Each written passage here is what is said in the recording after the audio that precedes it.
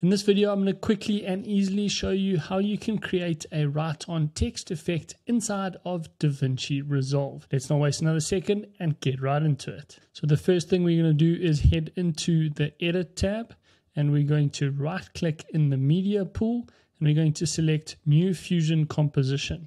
Now you can name this what you want. We're going to call it Title and we're going to choose a frame rate of 24 frames per second and then click Create and we have our new fusion composition here. We can double click it and it's going to open up for us inside of the fusion tab. Now the first thing is we want to add a text layer. So add a text layer there and then take it and connect it to our media out. Then we're going to write our title.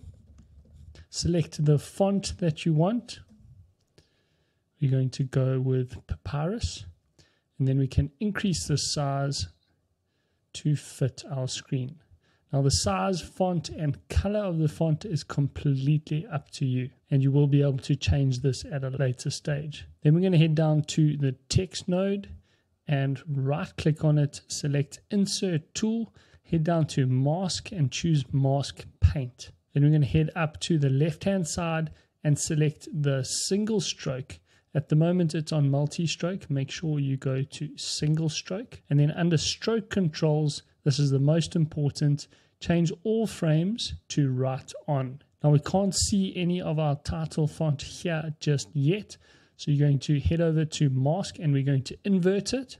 So it's going to show us our text and then we're going to head back to our brush controls and you want to make sure your brush size is bigger than the letters. So we're going to increase the brush size come back and check the widest point of your letters that it's going to cover everything. That looks good and take the softness and go all the way down. So remember again, first thing, select your single stroke. Then we're going to head to stroke controls, make sure we are write on, increase the size and softness, and then make sure you have ticked the invert box under mask.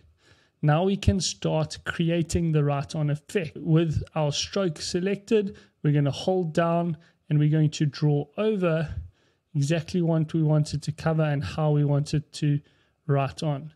Now, this is harder than you think. You have to think about how you would normally write this instead of paint it. So try and do the same kind of movements you would with a pen or pencil when you are writing this so it looks the way we visualize someone writing. Make sure you follow all the way to the end, cover every single piece in the right order. And you'll see we have a whole lot of keyframes that have been created.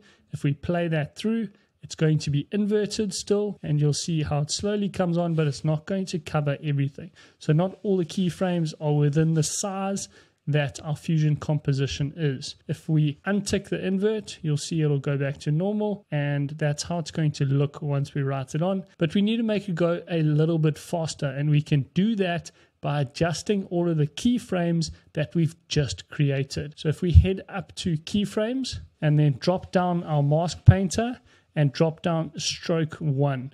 Now we need to select all these keyframes. So let's zoom out so we can see all the keyframes. Select all the keyframes and they will go yellow.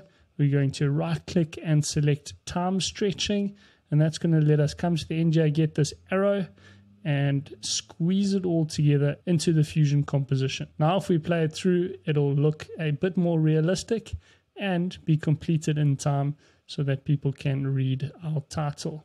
Now that we've got the write on effect, we want to head back into our edit tab and grab that title that we've just created and drop it onto our timeline.